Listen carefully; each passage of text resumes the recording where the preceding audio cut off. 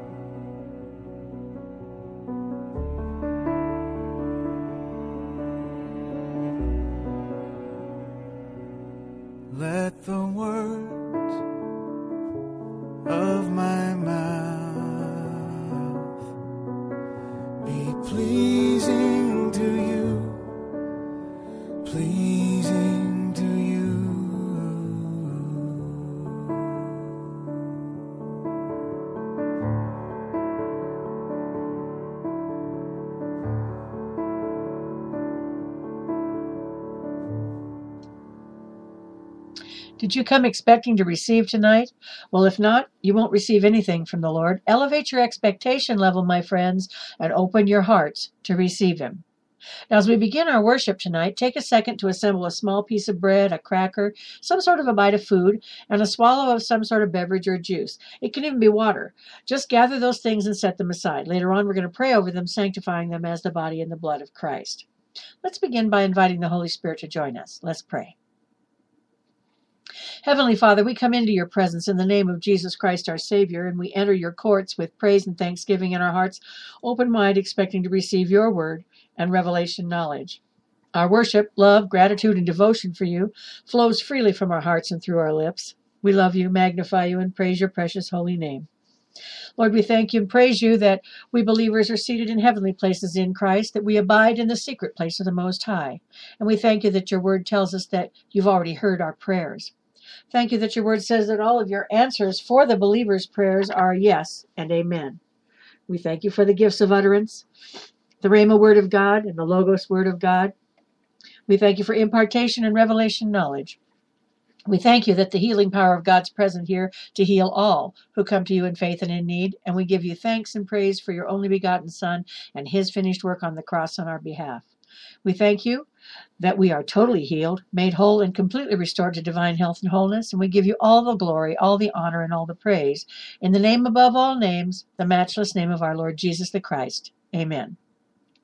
Right now, folks, let's worship our King.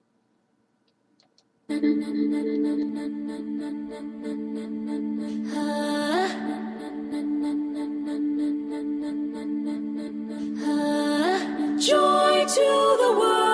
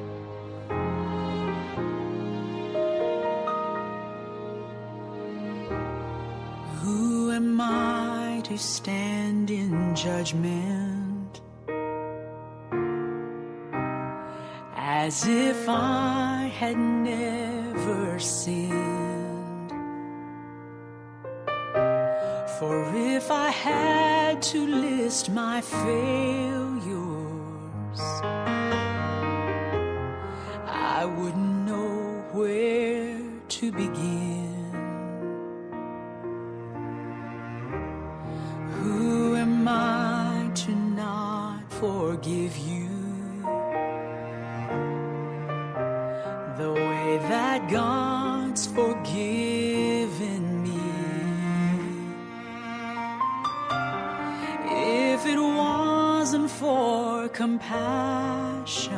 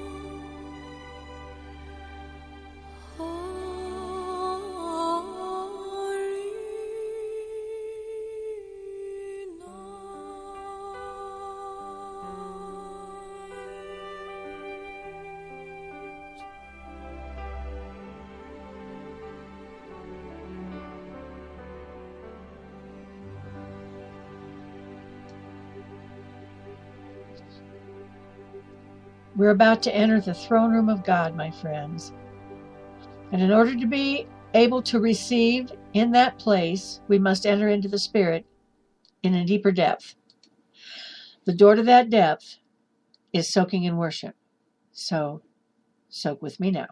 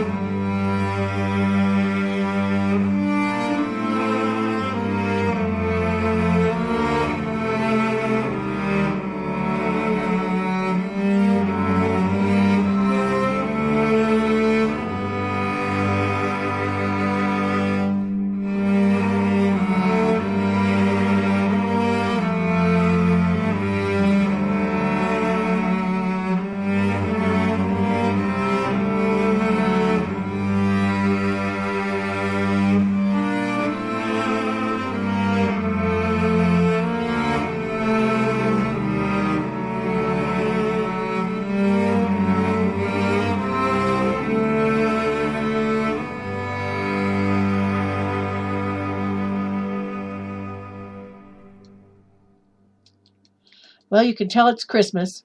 but let me ask you tonight do you know how to receive from God? Now, most often we're told that it's easy to be a Christian, just believe and receive. Excuse me, I sneezed just before I came back on the air. Pardon me. Okay, I don't really have too much of a problem believing, only on the hard things like healing and stuff, but I don't really know how to receive. Well, knowing what's available how to receive it, and what to do with it after you've got it in the natural realm seems, um, well, it seems pretty simple. After all, we're taught that from an early age uh, that when we want to eat, we just ask for it. When we want to fix dinner, well, we went to the store and we bought the food or obtained it from our gardens and brought it in and prepared it. However, many of us don't know what's available spiritually, let alone how to receive it or what to do with it after we've received it. Receiving spiritual things is just as easy as receiving things in the natural realm when we know how. How to receive it? Well, how do we receive it? After we learn what's available in God's Word, we need to know how to appropriate it, how to receive it, and what's more, even desire it. Receiving God's promises are just as simple as receiving things in the natural realm. We have actually learned that an abundant life is available, but we don't know how to receive it. Well, it does me very little good to know what an abundant life is like and that it's available if I don't know how to receive it and what to do with it after I've got it. Matthew 6, verse 31 says, Therefore take no thought, saying, What shall we eat? Or, What shall we drink? Or, Wherewithal shall we be clothed? For after all these things do the Gentiles seek, for your heavenly Father knoweth what you need, and uh, and what and your heavenly Father knoweth that ye have need of these things. But seek ye first the kingdom of God and his righteousness, and all these things then shall be added unto you. How am I going to get all my needs met? Seek first God. Believe his word. Don't be don't go around fretting about where your next meal is going to come from or where the clothes you're going to wear are coming from. Why? Because God's going to provide it all. Now Luke 6:38 tells us, "Give, and it shall be given unto you; good measure, pressed down, shaken together, and running over, shall men give into your bosom. For with the same measure that ye meet withal, it shall be measured to you again. That's another key to living the more and abundant life. Listen, this is more than just having your needs met, folks. Give God, and God shall give to you. Fill up your cup with an excellent amount, not just enough to get by. No, it says good measure, pressing it down, shaking it together to settle it get all the air out, and having more put in on top of that so that it runs over. That's our God. These are just a few of the principles that we need to know, believe, and do in order to tap into the resources of the more than abundant life that God has provided for us. You know, God tells us in Ephesians 6 how to combat the wiles of the devil, and He has given us the tools to do it with. And He tells us what to do with the tools. God instructs us in Romans 8 on how to renew our minds and pray so that we can walk with our Father and live a live, lively life, not consumed by the carnal things of this world. We can be told that we should pray. We can be told that we should give. We can be told that we should renew our minds. But that'll never do us any good unless we're told how to do it, how to receive and have the desire. This is what we need to know. We need to know how to receive the abundance in God's Word. So, what do we do with it after we've got it? Let's say that we find out how to receive it and we get it. Now, we also need to know what to do with it after we've got it. What good is it, or what is it to profit, if I receive things from God, but I don't know how to use them? Well, in the natural realm, if you knew a, gar- knew a garden hoe was available and you obtained one, but you used it as a shovel, well, it wouldn't work very well, would it? This is the same principle in the spiritual realm. You can receive the gift of God, which is the Holy Spirit, and well meaning people will tell you, Hooray, you've got it. You've got the power now. However, if you don't know what to do with the power, and if you don't know that you have it, but it's like a nuclear bomb and you're afraid to move or, or you may set it off, you'll never use it. But more to the point, after you've got it, you can't use it to its fullest potential if you have no idea what it does or what to expect from having used it. So what do we do? Well, we have to find out how we appropriate the things of God and what to do with those things of God after we've received them. And this will allow us to tap into the resources of the more than abundant life. Here's a great example of what's available, how to receive it, what to do with it after you've got it, all rolled into one. 1 Corinthians chapter 12 verse 7. But the manifestation of the Spirit is given to every man to profit withal. What's available? The manifestations of the Spirit of God. How to receive it? It is given to, to us when we were made whole, born again. Romans 10, verses 9 through 10. What to do with it? To use, to profit withal, to be altogether profitable. The uses? For one, uh, 12, 8. For, for to one profit is given by the Spirit the word of wisdom. To another profit, the word of God by the same Spirit. Now, I'm not talking about a prophet speaking profit. I'm talking about P R O F I T, you know, gain. Okay. Uh, so to another profit, the word of knowledge by the same Spirit. To another profit, faith by the same Spirit. To another profit, the gifts of healing by the same Spirit. To another profit, the working of miracles. To another, prophecy. To another, uh, a discerning of spirits. To another, diverse kinds of tongues. To another, the interpretation of tongues. But all these worketh that one and the selfsame Spirit, dividing to every man severally his own, as he, the man, will.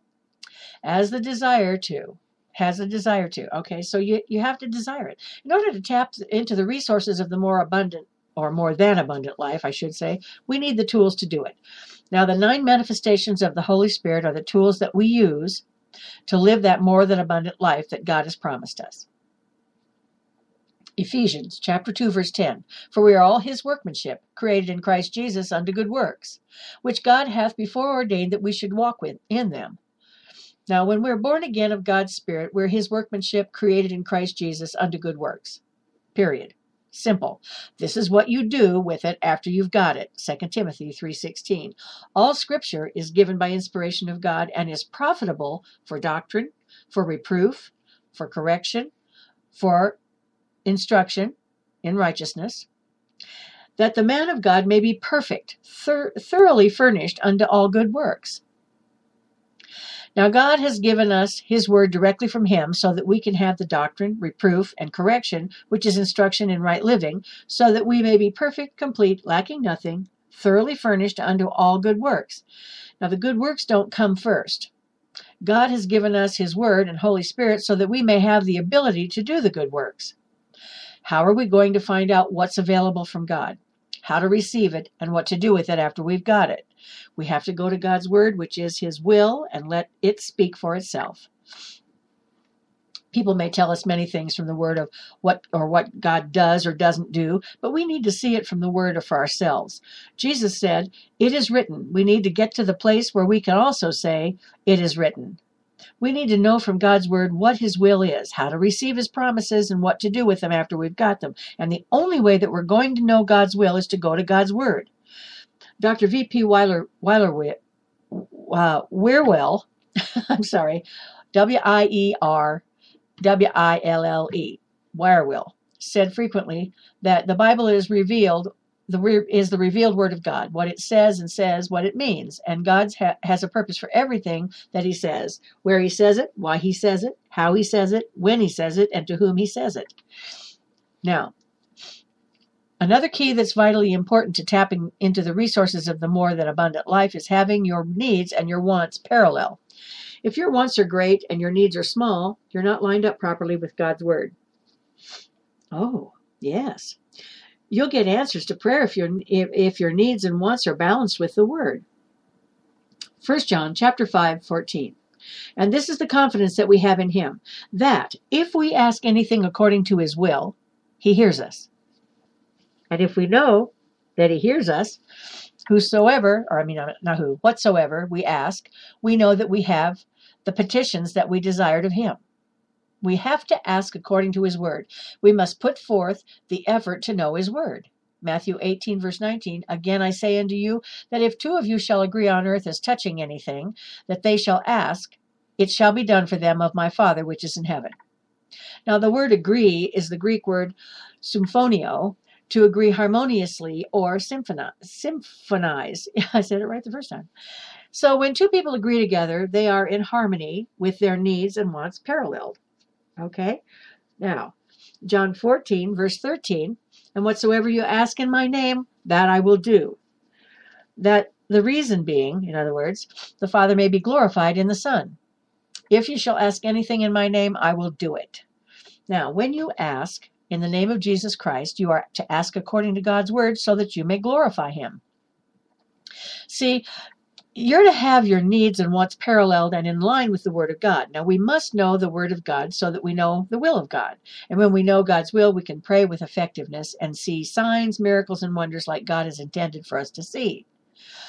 One more essential truth that we must believe is that God's ability equals his willingness. If we recognize that God has the ability, after all, he created the heavens and the earth, uh, but we don't believe that he's willing, our unbelief will defeat the promises of God in our lives. We have to believe that what God says he's willing to do and he's able to do.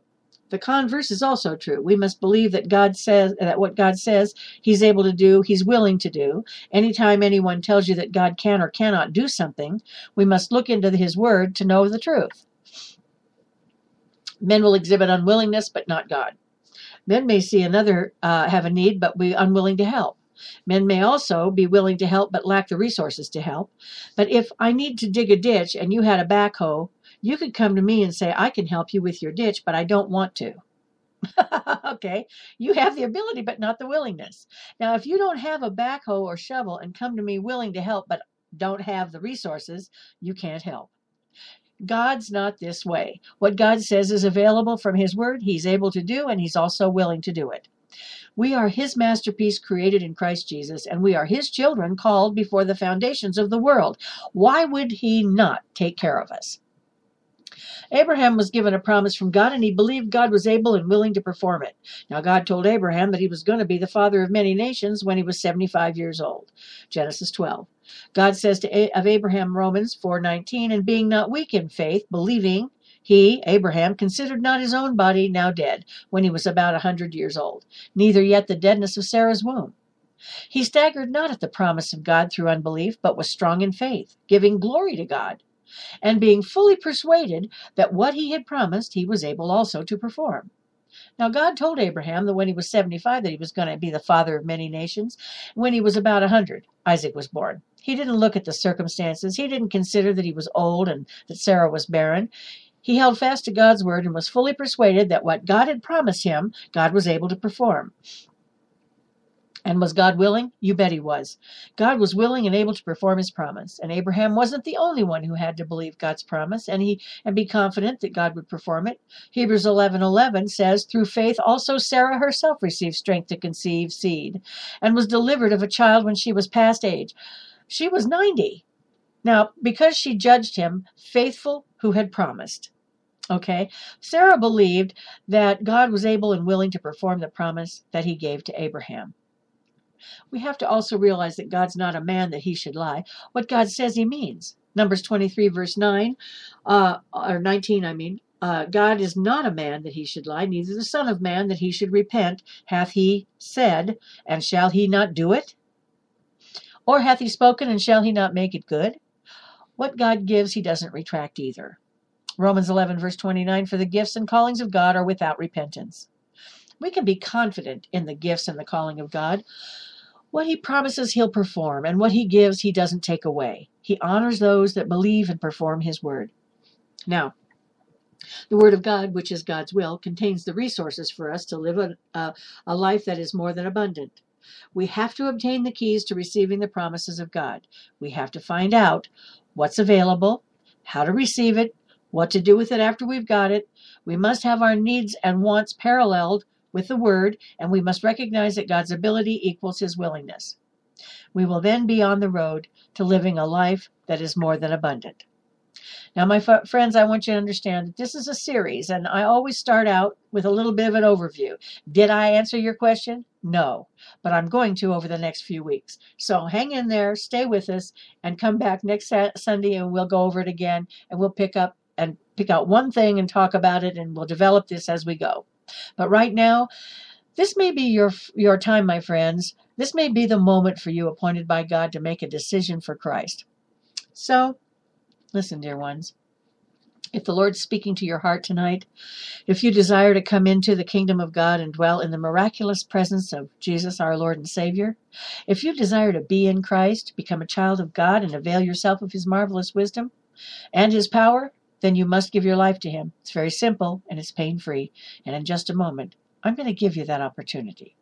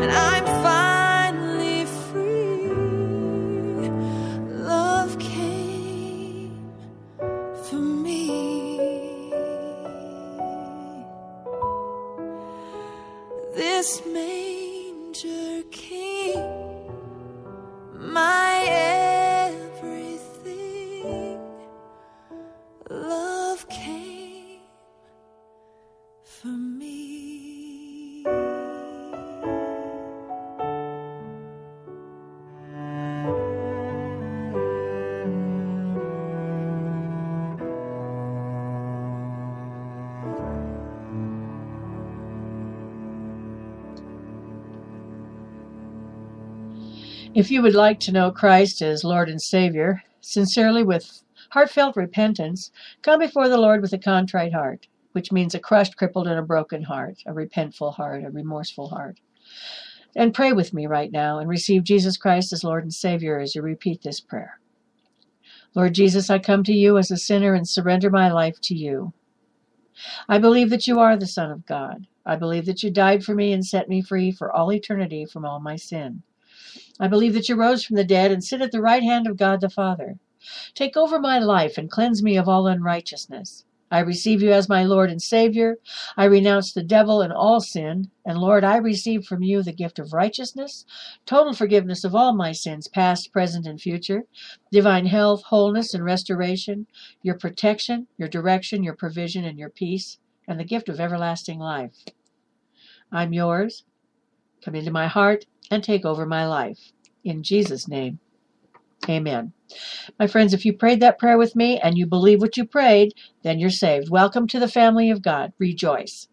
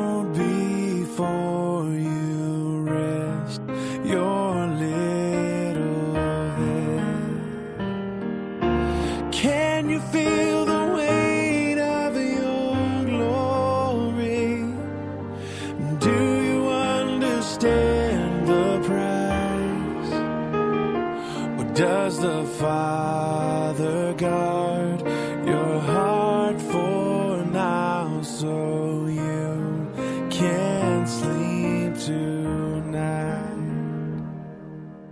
Go to sleep, my son. Go and chase your dreams. This world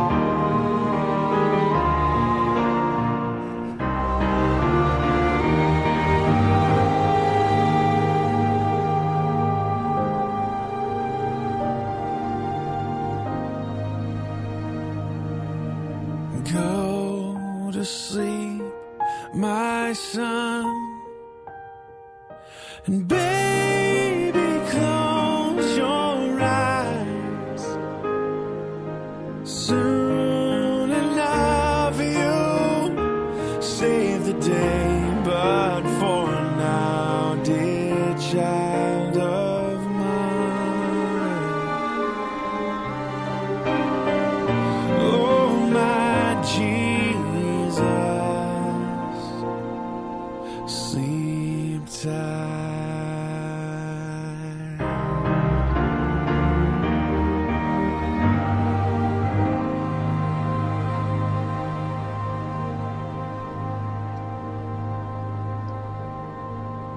wonderful things that we receive from taking Holy Communion is healing of our bodies and minds.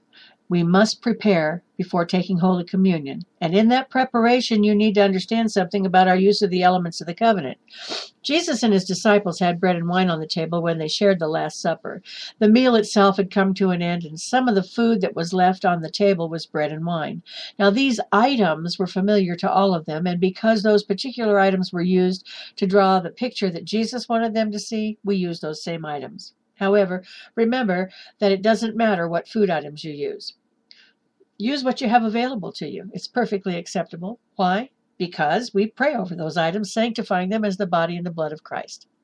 So, what I want you to see in this is that you believe that they become the body and the blood of Christ. Now, the Word of God tells us that the first thing that we must do is discern the body of Christ. How do we do that? Well, we do that by acknowledging that the bread or whatever food item you're using is the body of Christ. And it's the vibrancy of the life of Jesus and his supernatural healing and wholeness that because of his body and blood, you supernaturally have become bone of his bone and flesh of his flesh. That you're now filled with his perfection and power, completely healed, completely made whole, completely restored to divine health. You could think of it as a medicine, actually, if you want to, a pill that's glowing with the Shekinah glory of God. And every time you take it, that medicine is healing you as it travels through your mouth down into your body. And as it goes, it's pushing out all darkness, which is sickness and disease, and it's pushing it out from the inside out. Now visualize the condition you're plagued with. Uh, that sickness, disease, being on Jesus, Jesus's body. Put whatever those ailments are on him. Use your imagination and remember this: you're not giving him something he doesn't want. He already took it at the cross. Remember. Now the enemy's trying to trick you. He's trying to trick you into taking it. How? By deceiving you into thinking that you've got it through lying symptoms. But since Jesus took it at the cross, you're already healed and made whole. So put that lying symptom back on Jesus, right in the same place on him that you've been afflicted. In other words, my friends, see yourself with the solution, see yourself without the problems. This is called spiritual visualization. It's vital you understand it and do it. Listen, if you've been diagnosed with a problem and are being treated by a doctor, then continue your treatment and medications, but add to it your faith and your taking of Holy Communion for healing and restoration. Remember, too, that we believe in doctors. Don't just try to believe away your situation. See a doctor, get a name for what's plaguing you. Why? Because everything with a name has to bow to the name of Jesus. Now, next thing we do in preparation is discern the blood of Christ. We actually discern it as the forgiveness of all sin, past, present, and future, as restoration of the blessing to your life, the, the power and the authority of God in your life in full operation, as receiving God's provision and protection, as receiving the gift of righteousness from Jesus the Christ, thanking God for his plan of redemption, and that you've even been included in it. Thank him that you have been uh, uh, given life, eternal life, life everlasting, and now you no longer live under the law, but you live under his grace. Now lift up the elements of the covenant before the Lord. These are the items I asked you to assemble at the beginning of the program. Lift them up before the Lord as I pray. Father, we praise you and worship you with these elements of the covenant. We thank you that your only begotten Son, Jesus, gave his life sacrificially so that we may live and have life more abundantly. We thank you now as this food item becomes our portion of his healing body and the vibrancy of his life within us. Father, you know we thank you that as we partake of the body of Christ, we become healed and made whole, completely restored. We thank you that this beverage co- becomes our portion of his healing bod- uh, body, or his healing, I'm sorry, his cleansing blood. That we're continually washed in the waterfall of that blood and renewed within as we continually remember his act of love on the cross on our behalf. Lord, in the name above all names, the matchless name of Jesus the Christ, we pray. Amen. The Lord's Supper is a personal fellowship, my friends. It's a partnership with Christ. Partaking of one bread creates partnership between the members, the disciples as well, and it merges us into one body, the church. Now, the Word of God commands us to eat the bread and drink the cup. Continually take the bread, give thanks, and break it. Eat it, and then take the cup, give thanks, and drink it, all in the remembrance of Jesus and what he did for us at the cross. And the Lord commanded that the supper be repeated often, and yet Paul doesn't give us instruction as to how frequently the Lord's Supper is to be celebrated, but he does imply that it's to be done with frequency, so that partaking of the Lord's Supper will continually recall to our mind our redemption by Christ from all sickness, all disease, and all sin. So do it as often as you want to and need to. Remember, too, that you don't need a priest, you don't need a minister or a pastor to administer Holy Communion to you. We who are born again are members of the royal priesthood, and therefore we've been given the authority and right by God to administer Holy Communion to ourselves and others. Now, as we're instructed, we discern the body and the blood of Christ as we prepare to partake. On the night that he was betrayed, the Lord Jesus took bread, and when he had given thanks, he broke it and said, Take, eat. This is my body which is broken for you. Do this in remembrance of me. Father, we thank you that this food item has become the bread of life and is now the healing body of our Lord Jesus the Christ. The body of our Lord Jesus broken for you so that every cell, every tissue, every organ and bone, all systems, cardiovascular, neurological, blood vascular, lymphatic, muscular, skeletal, all systems are totally aligned with God's word and his will, that you are and remain healed, made whole, and totally restored to divine health and wholeness. In the name of Jesus, our healer, the Christ, we pray. Amen. Partake of the body of our Lord and Savior.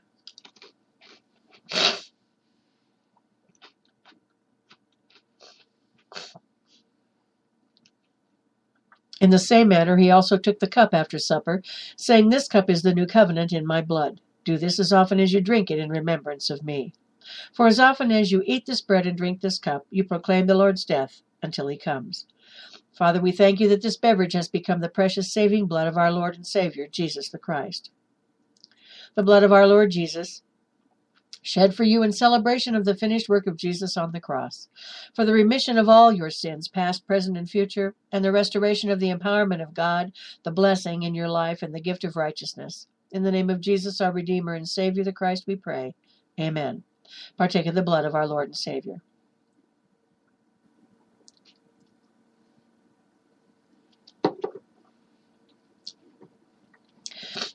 The Lord's Supper is a feast, my friends, a feast in union with the believers and the living Savior, whereby we spiritually and by faith receive Christ with all of his benefits, and we are nourished with the vibrancy of his life into eternal life, and for that we are eternally grateful.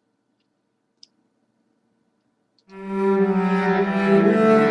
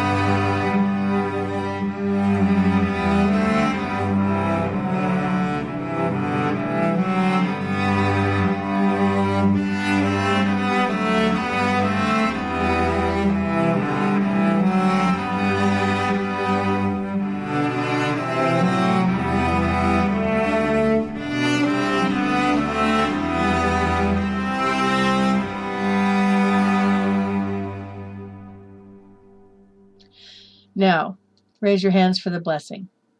May the Lord bless you and keep you. May the Lord make his face to shine upon you and be gracious unto you. May the Lord lift his countenance upon you and give you his peace. May you open up your mouth and continually declare who you are in Christ Jesus, thanking God for all that you've received and give honor, glory, and praise to the Lord Most High. May the Lord continually bless you with divine health and wholeness and make your way prosperous as you walk in his love. In the name and majesty of our Lord and Savior, Jesus the Christ. Amen. God bless you.